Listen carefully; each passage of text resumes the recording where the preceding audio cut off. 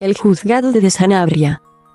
El juzgado de primera instancia instrucción de Puebla de Sanabria caza a Baltar, que ha declarado vía telemática este jueves por un presunto delito contra la seguridad vial tras ser cazado al volante del coche oficial de la Diputación de Orense a 215 km por hora en la 52.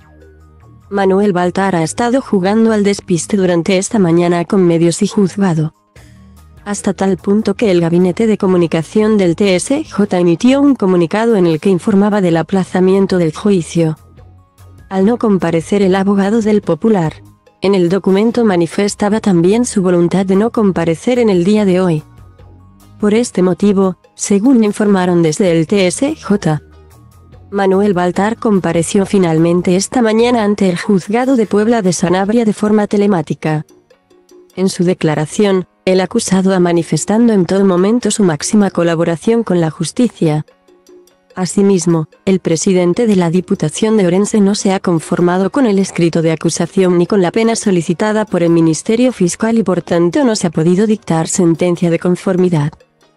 El juzgado de Puebla de Sanabria enviará ahora el procedimiento al juzgado de lo penal de Zamora para su enjuiciamiento el próximo 31 de mayo a las 10 en punto. La defensa presentará recursos ante el juzgado y la audiencia, mostrando su disconformidad con la continuación de este procedimiento. La citación del pasado martes no se celebró por incomparecencia del abogado de Baltar. El letrado solicitó la suspensión del juicio rápido por tener otro señalamiento anterior en el tiempo pero el juzgado lo rechazó a la vez que emplazó al defensor y a Baltar a un juicio telemático que tampoco se celebró por la incomparecencia del abogado. El juicio de Baltar en el juzgado de primera instancia instrucción de Puebla de Sanabria ha despertado interés de los medios nacionales que esperan el desarrollo de los acontecimientos en la localidad zamorana.